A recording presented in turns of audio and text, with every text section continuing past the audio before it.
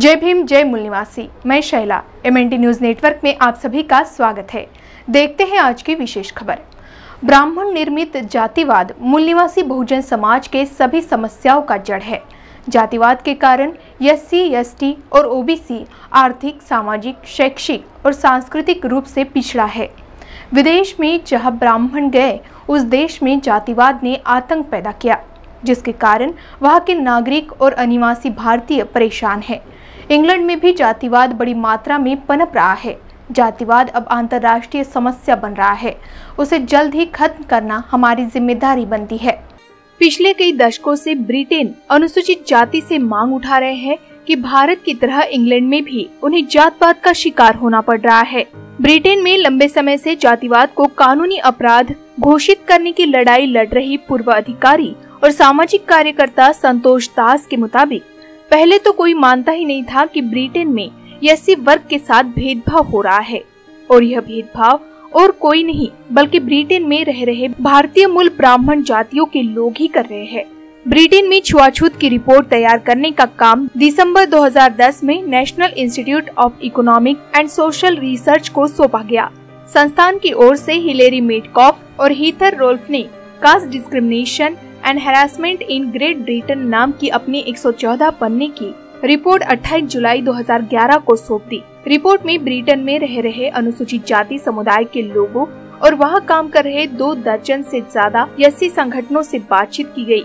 स्कूलों में किए गए अध्ययनों में पता चला कि भारतीय मूल के सवर्ण छात्र अपने सहपाठी यसी छात्रों को जाति सूचक शब्दों से जलील करते हैं कुछ ऐसे मामले भी सामने आए जहाँ पहले तो छात्रों के बीच दोस्ताना था, लेकिन एक दूसरे की जाति पता चलने के बाद उनका व्यवहार ही बदल गया। कई मामलों में जातिगत भेदभाव के कारण छात्रों ने स्कूल ही छोड़ दिया। कई मामलों में एस वर्ग को अलग बैठकर खाना खाना पड़ता है, क्योंकि सवर्ण उनके साथ बैठना पसंद नहीं करते। ज़्यादातर मामलों में पीड़ित अपने गोरे अफसरों को समझा ही नहीं पाए कि आखिर उनके साथ हो क्या रहा है। सबसे विचित्र मामला तो टैक्सी चलाने वाले एक यस्सी कारोबारी के साथ सामने आया। उसकी कंपनी में ज़्यादातर सवर्ण टैक्सी ड्राइवर काम करते थे।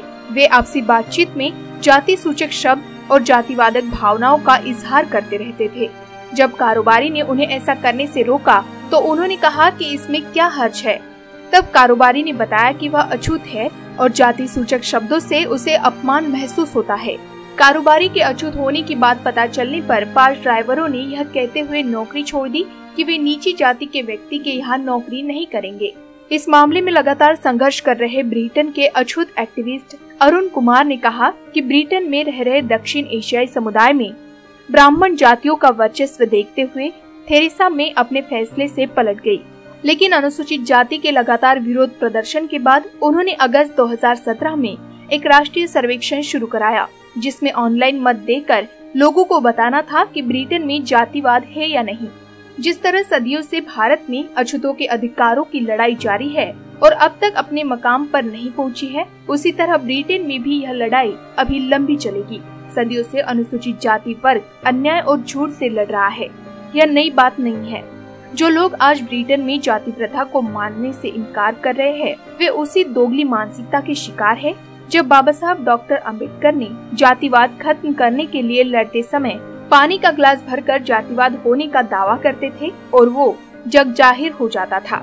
लेकिन चाहे देश हो या विदेश, बहुजन मूल निवासियों को जातिवाद खत्म करने के प्रति अपनी आवाज़ बुलंद करनी होगी।